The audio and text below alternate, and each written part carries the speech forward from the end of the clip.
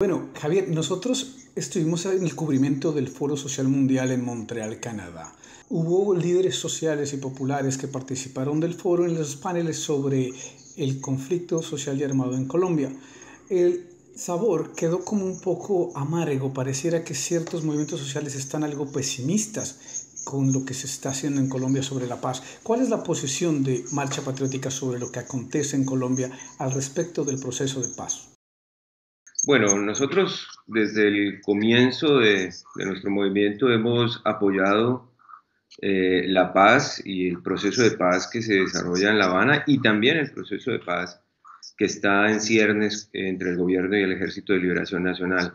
Nuestra opinión es que es una urgencia para el país la construcción de la paz, porque viene, es la posibilidad de que se desarrolle un ambiente democrático en el que podamos disputar eh, el poder sin eh, ser objeto de amenazas y, persecuciones. Entendemos que, existen eh, diferencias e inconformidades con los acuerdos de paz. Nadie en Colombia, ni de derecha, ni izquierda, ni el movimiento social, va a quedar completamente contento con el acuerdo de paz. Recordemos que es una negociación y en una negociación las partes ceden. Entonces, tanto hay sectores de derecha que están inconformes con el acuerdo de, paz y también sectores del movimiento social. Pero eso no significa que el movimiento social colombiano esté rechazando la paz. Nosotros en Colombia hemos logrado conseguir eh, casi que una posición unánime del movimiento social que incluye a la Marcha Patriótica, al Congreso de los Pueblos, a la UNIC, a toda la cumbre eh, agraria, a sectores de la iglesia, eh, que nos reunimos en la campaña La Paz y es contigo, eh, que fue lanzada hace unas semanas en Bogotá y en la que todos coincidimos que es necesaria la paz. Así que seguramente allí se expresaron preocupaciones que tenemos todos respecto a las posibilidades ciertas de que el gobierno colombiano cumpla con los acuerdos pero nosotros desde la marcha entendemos que la garantía del cumplimiento de los acuerdos y de la construcción de un nuevo momento en Colombia depende de la movilización popular y depende de nuestra acción decidida en la construcción de la paz. Sobre la campaña, nos enteramos que hubo una gira muy importante en la cual eh, usted hizo parte, que fue en Europa. ¿Cómo ha sido el recibimiento de, de, la gente en otros países, de los exiliados políticos, de la gente que tuvo que irse del país por X o Y razón? Ha sido muy bien recibida la propuesta. Mira, el, exilio colombiano tiene la esperanza, el anhelo y la ansiedad porque en Colombia eh, se den cambios políticos. Y no solamente el exilio producto de la violencia política y de la persecución política del Estado colombiano, sino también el exilio económico, el exilio educativo que producto del modelo neoliberal ha obligado a que cientos y miles de colombianos y colombianas salgan del país. Mucha gente está eh, anhelando que el país cambie, que, se construya un, un, nuevo escenario. Nosotros hemos encontrado, eh, como te digo, mucha ansiedad, mucha esperanza, mucha, eh, mucho anhelo de que esto se logre. Hay mucha gente comprometida en todas las partes del mundo construyendo la campaña La Paz y es contigo y haciendo y desarrollando iniciativas propias eh, colectivas, individuales, tratando de eh, decirle a los colombianos y colombianas que debemos salir a votar cuando se dé el plebiscito, eh, porque ese día comienza un, un, nuevo camino del país que tenemos que construir, que no será fácil, pero pues comienza un nuevo día para nosotros y nosotras en Colombia. Volviendo a Colombia, hay noticias que de alguna manera hace algún tiempo eran muy difícil de imaginarlas. Por ejemplo, lo de la restitución de algunos derechos políticos a la lideresa Piedad Córdoba. ¿Cuál es la posición de Marcha Patriótica sobre eso? Bueno, primero decir que se hizo justicia, porque lo que ha habido en Colombia y lo que constituyó el régimen uribista entre el 2002 y el 2010, y que continuó el procurador Ordóñez, eh, ha sido una persecución sistemática en contra de la disidencia política, en contra de la oposición política. A Pia Córdoba la condenaron, injustamente le, eh, le quitaron eh, el cargo de senadora que había ganado legítimamente en las urnas, por una eh, amañada decisión de la Procuraduría. Se está haciendo justicia y entendemos que no solamente sobre ella, sino también sobre Gustavo Petro y otros políticos de la oposición colombiana eh, pesan inhabilidades que seguramente tienen que ser eh, levantadas para que ellos puedan competir democráticamente, como es su derecho, para disputar el poder en Colombia.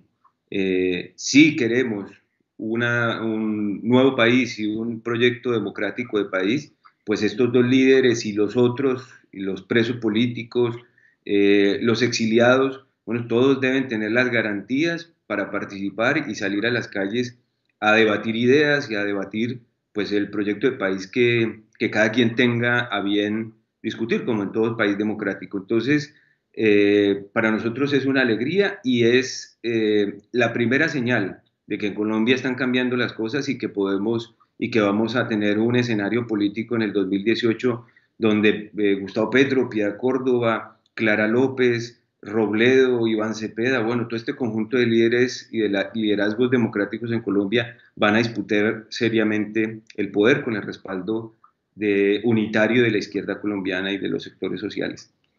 Sobre la coyuntura particular del plebiscito, ¿Son ustedes optimistas sobre lo que se puede conseguir? Bueno, nosotros creemos que la, la primera gran prueba del proceso de paz, eh, la primera prueba electoral, eh, va a ser el plebiscito y sabemos también que hay eh, sectores que añoran la guerra, que han vivido la guerra, que se han enriquecido con la guerra y que han hecho política del miedo y política con la guerra, ¿no? y que sienten que la llegada de un proceso de paz y de las transformaciones en Colombia les va a quitar su status quo. estoy hablando básicamente del uribismo, de los sectores que se vieron comprometidos con el despojo de tierras, con el apoyo a sectores eh, ilegales de los grupos, especialmente los grupos paramilitares, pero entendemos que, que bueno, que siempre en todos los, eh, en todos los procesos de apertura democrática, eh, hay sectores que quieren anclarse en el pasado, pero pues eh, entendemos eh, que nuestro optimismo es la posibilidad de actuar unificadamente con todos los sectores sociales para convencer a las mayorías pues, de que esta oportunidad de la paz no la podemos perder.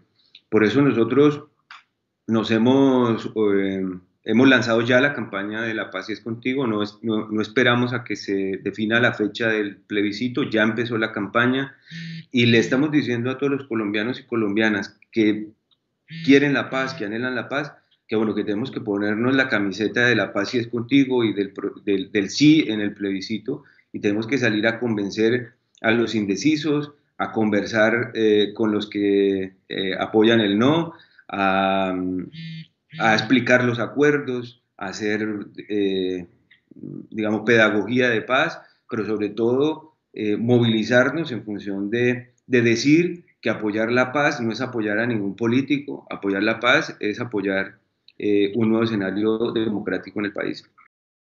Usted dice que no esperaron a que se la decisión sobre el plebiscito, porque consideran que había que hacerlo desde mucho antes, arrancar con la campaña por el sí. Eh, eh, mi pregunta va encaminada a lo siguiente. En el caso de que se apruebe el no en el plebiscito, las condiciones a nivel latinoamericanas, vemos lo que ha pasado en Brasil, lo que ha pasado en Argentina, no son las mismas de cuando comenzó el proceso de paz hace cinco años. ¿Qué tan nocivo puede ser para la paz en Colombia que se apruebe el no? Pues es, es eh, sería la echar en saco roto, echar a la basura la posibilidad de la solución política dialogada y negociada del conflicto, una arquitectura de discusión que, se viene dando desde hace muchos años, no solamente en los cuatro años que lleva el proceso de paz en La Habana, sino de todas las disputas sociales y de todas las eh, movilización internacional y nacional en favor de la paz de Colombia. Yo creo que los colombianos y las colombianas tenemos que saber eh, que, esto ha sido un esfuerzo de mucha gente, de muchos, de muchos sectores, que entendemos que, que nuestro futuro y nuestro destino no puede ser la guerra.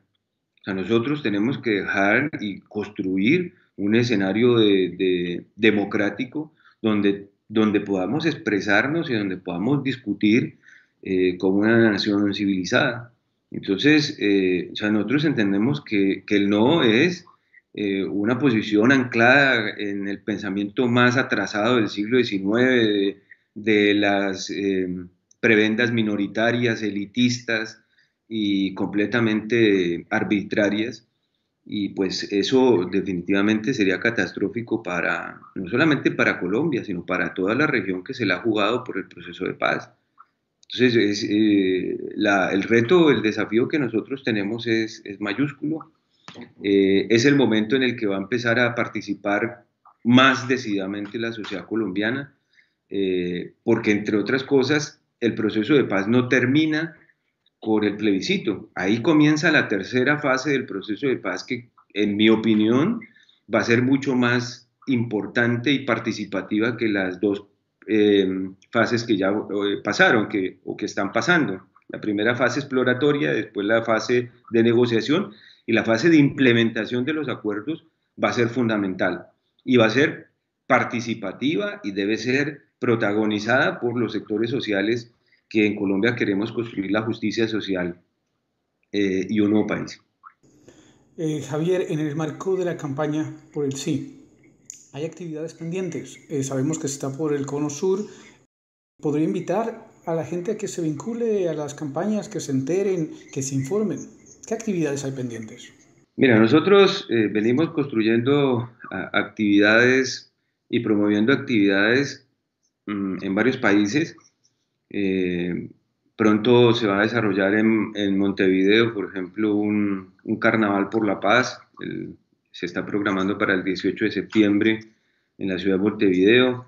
Se está desarrollando el lanzamiento de la campaña de Pedagogía de Paz eh, el, 29 de septiembre en el marco de un seminario del Instituto de Estudios de América Latina y el Caribe de la Universidad de Buenos Aires. Eh, en Europa están proyectando otras actividades en Venezuela, en Chile. Eh, pero más allá de, invitarlos a las actividades, mi invitación es a que ustedes programen actividades pequeñas, tertulias, reuniones, eh, mensajes por Facebook, pequeños eh, mensajes de, de, extranjeros invitando a los colombianos a votar por el sí. O sea, yo creo que aquí cada quien tenemos, cada colombiano que está, o colombiana que está de acuerdo con la paz tiene que hacer una movida por la paz. Yo creo que mi invitación es esa, a movernos por la paz, a hacer actividades individuales, colectivas, eh, creativas, para garantizar que la sociedad colombiana eh, decida movilizarse en favor de la paz. Javier, ha sido usted muy amable desde la red de prensa alternativa del suroccidente colombiano. Le agradecemos que haya tenido un espacio en su agenda para eh, hablar con nosotros y le deseamos la mejor de las suertes.